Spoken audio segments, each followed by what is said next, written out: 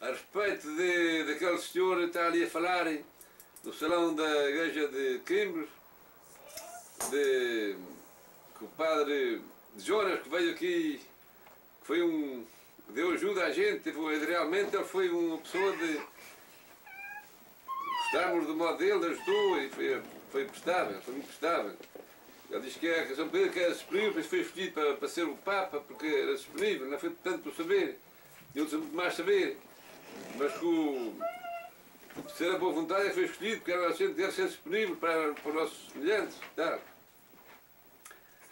E ele disse que faz o pai, seu padre Jonas, que foi prestável aqui à gente, e gostávamos dele, realmente foi verdade. Esperemos que ele volte em breve. O, foi enviado, e falou também no, no, no Papa João 23, o Papa João 23, uma vez esteve lá um companheiro e ele apareceu assim, mais ou menos, apareceu assim com, num traje meio vulgar. E admiraram-se ele assim preparar com outro traje para aparecer à visita e ele disse, ah, isto é natural, é natural, eu ando assim, isto é natural. E está a ser, a ser fingido. E, e ele disse que tinha uma oração que dizia todos os dias de manhã. E o outro disse que gostava de aprender a oração, o outro disse que gostava de aprender a, a oração que, o, que ele sabia. E ele disse que. E tirou, tirou um papel e, e, um, e uma caneta de algebeiro, um esfográfico para escrever a oração. E ele disse: Não, eu muito fácil, não preciso escrever. Eu costumo dizer todo dia de manhã: Senhor, fazer que eu cresça mais pelo ar, porque por lá já tem bastante. Porque ele era baixinho, muito gordinho, certamente, e agora já tinha categoria bastante, estava a Papa, chegou, chegou o máximo do, de, de que era a terra, e agora ele queria, já, já largou, tinha bastante uma que era baixinho, muito gordinho, e já tinha, já tinha um posto bem alto, e agora precisava era de crescer mais, crescer mais para Deus. Disse, o Senhor, fazer que eu cresça, cresça mais, por lá já tem bastante. Porque realmente era baixo e grossinho, e depois também já tinha bastante aqui na terra, bastante, bastante praça, precisava, queria subir mais para Deus, para ter mais, ficar mais perto de Deus. E realmente bem preparado, a oração está engraçada. Senhor, fazer que eu cresça, cresça mais, por já tem bastante. O, Papa que está agora, eu vi num, ali num livro qualquer, que ele quando esteve na tropa, na, no tempo da guerra, a guerra de. Houve a guerra dos alemães e não sei o quê, nesse tempo, eu lembro de falar, falar nisso, que era novo. Iam para a tropa, para a soldado, e aquelas quatro gente morria. E então estavam a chamar os polacos para ir para a guerra, e ele estava a estudar. E então, para se defender da guerra, foi então trabalhar, quem estivesse trabalhando estava livre, estava livre de ir para a tropa. Então, ele, para se defender da, da tropa, foi trabalhar, foi trabalhar com a pedreira. Trabalho duro e árido, cortar pedra e trabalhar de picareta. E então, para, para se defender, até que escapou de ir à guerra naquela ocasião. Mas depois, mais tarde, o seu, o seu assim, como é, como é que dizer, disse a ele que ele queria ser, ainda vai ser Papa, mas eu vejo sangue em ti. Já está, já está previsto aquele tiro que ele teve, que era, já, que já vinha coisa como, como numa, numa profecia, que ia ter aquele, eu vais ser Papa, mas eu vejo sangue em ti. Já estava aqui já previsto que ele tinha ter aquele desastre consigo, ele contou. E escapou por um milagre, por, para poder de Deus, que fez a Nossa Senhora e escapou por um milagre. Não tinha dito aquela vez. Mas ainda assim desejou perdão ao que tinha dado o tiro. Uh, para, escapar, para escapar à tropa foi preciso ir trabalhar por uma pedreira para escapar da tropa naquela ocasião que era tudo para ir para a guerra. Mas quando ele foi, quando ele foi declarado Papa, foi lá à sua freguesia, à Polónia, à sua freguesia, à sua terra, quer dizer, sua pátria. Mas já Nosso Senhor, já Nosso Senhor da sua pátria não, não, não aceitavam. Eram os piores contra ele, os rivais. Ele mesmo disse que um profeta nunca é bem aceito na sua terra. E puseram lá uma cruz muito alta, na Polónia, para ter medo, para ter medo, para, para a caçoada, para ter medo, para assustá-lo, e para queriam uma era matá-lo, queriam desprezá-lo, para ter medo. E ele chegou, olhou para a cruz, uma cruz muito alta, e disse, meus amigos, meus irmãos, foi bem, bem lembrado, boa ideia que vós tiveste, boa ideia, uma cruz, uma boa cruz, boa, boa ideia. Vós, quando vês uma cruz vazia, lembre-se que é a vossa cruz. Quando a gente vê uma cruz vazia, lembrem-se que é a vossa cruz. Boa ideia que vocês tiveram. Não esqueçam, quando vir uma cruz vazia, lembrem-se que é a vossa. É a vossa cruz. Também com respeito a isto, a respeito de se sofrer para poder resistir à tropa, havia aqui um amigo meu, um velhote, velhote meio, meio moreno, que era cabo-verdiano, teve aqui quando comprei a minha casa há 13 anos, há 12 anos, ele é que, ele é que foi escrever, é foi aquele advogado que foi assinar para a compra da casa. E ele também contou que era um amigo meu, era já, já velhote, ele já faleceu aqui há 3 anos atrás, estava há 3 anos. E ele contou quando veio para aqui para a América não sabia falar inglês. E e pensou em ir para a Califórnia ver se ganhava mais dinheiro para ter mais desenvolvimento, que gostava de estudar, pensava em estudar. Então, quando não sabia falar inglês, teve um amigo seu pôr um letreiro no pescoço e dizia: leva-me para o avião que eu não, eu não falo inglês. E lá o outro conduzia o avião. Ou três anos lá na Califórnia, teve cowboy, tratando de vacas. Cowboy.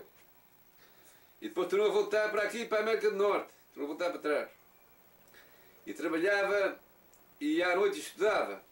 Tinha já algum saber e queria, que chegou a ser advogado com muito, com muito, muito sacrifício para trabalhar e tinha que estudar. Então ele contou, naquele tempo que era novo, para estudar, tinha uma bacia de água fria, punha os pés dentro. Quando chegava ao trabalho para estudar, descalçava-se e punha os pés na bacia de água fria, por causa de não adormecer para poder estudar. Grande sacrifício, estudou e foi um grande, um grande homem, um doutor Leis, um advogado e foi, foi bastante instruído, aprendeu inglês e tudo, com muito sacrifício e boa vontade. Chamava-se António Jesus Cardoso. Foi meu, eu conheci muito bem, foi, era meu amigo. Chegou a fazer um serviço para mim. E então a, a boa vontade o que faz, cansado de trabalhar, é pôr os água fria, gelada, para o causa de dormir.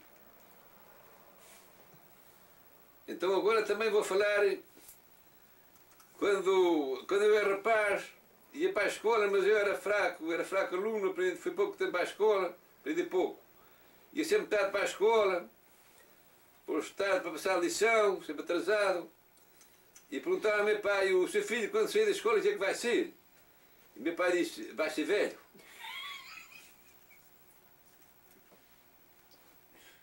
Também nós somos todo Oliveira Salazar, já ouvi a história dele quando, era, quando foi estudar. Chegou lá do estudo, estava de Coimbra, Lisboa, lá a sua família, com o seu estudo tinha, tinha tirado. E o, o pai tinha feito a promessa, se ele tirasse o, o curso bom, que ia dar um boi, ia pôr um boi a, promessa. E então ele já era esperto, já de novo já era esperto, já foi um esperto. Disse, oh, meu pai, eu é que vou pôr o boi, eu é que vou pôr o boi de promessa. Meu pai andar aquele galo também que está lá. Pois o problema, porque esse galo lá eu levo o galo também. Eu é que vou lá pôr essa promessa. Levou o boi e levou o galo. Chegou lá e disse, o galo queria era ser metade, pois tem preço. Disse, olha este, este galo, este boi, está aqui custa, custa 100 escudos. Mas eu comprar o galo, mas atenção, comprar o, o boi tem que fechar com este galo, o galo são mil escudos e o boi são cem. E então fechar com o, com o boi tem que fechar também com o galo. Este homem realmente é muito barato. Mudar um boi por 100 escudos é baratíssimo. E comprar o galo e o boi. E até pôs os 100 escudos de boi de promessa e estou subindo o galo para casa para si. Já era esperto quando era rapaz. Também uma vez ouvi uma história, isto, há pessoas que, que amigos contaram anedotas, coisas às vezes que estavam, não eram bem tidas, mas contam aqui. O general, o senhor general Carmona, já que falo Salazar, quando morreu, que chegou ao céu, e Pedro foi abrir a porta e disse: Homem, tu quem és? E o Carmona disse: Eu, eu era o presidente de uma nação, uma naçãozinha pequena, chamada, chamada Portugal, eu era o presidente de uma nação. E ele sempre disse, ah, E venho assim magrinho. Então quando estavam lá, tem mandado-me a contar. É.